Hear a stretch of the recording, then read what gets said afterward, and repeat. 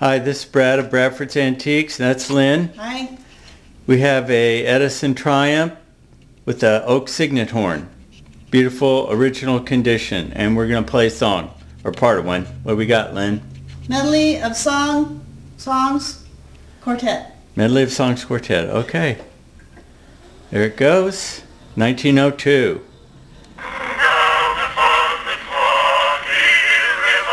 Thanks, Lynn.